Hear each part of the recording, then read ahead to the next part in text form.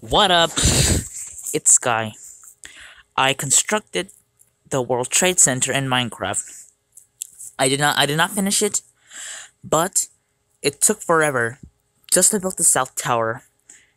And it just so happened to be the 9/11 20th year anniversary. So we're going to go through it. Starting off with the lobby.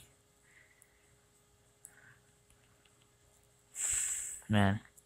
Look how cool this is. You can look up photos of the area and it looks something like this.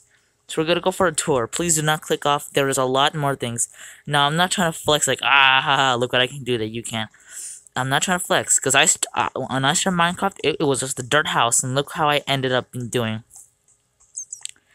Once again, not not trying to flex.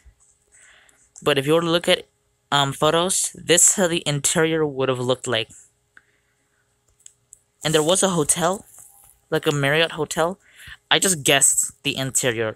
I might one day like maybe properly created, but for now, it'll just stay empty. This looks so peaceful.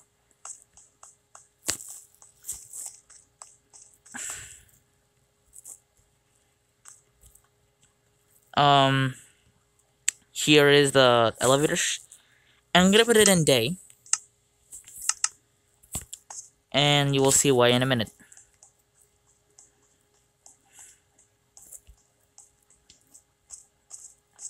We're now we're gonna go up to the observation deck. But first we're gonna look at the building on the oversight building during the day. So here you saw it at night. This is the same building during the day. I've only constructed the south tower. Um I haven't built the north tower, it's clearly under construction. But um I'm not sure about the build. Like, it is like a mod where there's like an infinite amount of build height. Please do suggest so I can build the spider. But regarding against that, look how look how realistic this is.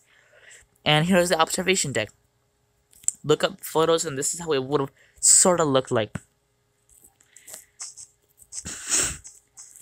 Um, and then in and up here in the observation deck, it used to have you. What are those things that call you like? You look out you have to put a quarter in just look at it. I don't remember, but you like find them in mountains and stuff. So this is the observation deck, and it had like a platform.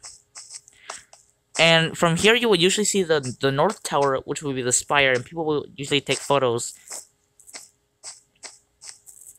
I wonder how this place would have looked like had not 9/11 happened. Honestly, one, video would be different. Two, um, security wouldn't be so strict, and people people would have not. GTA Four might have been, I don't know, more realistic, but still looks pretty awesome. Once again, not trying to flex.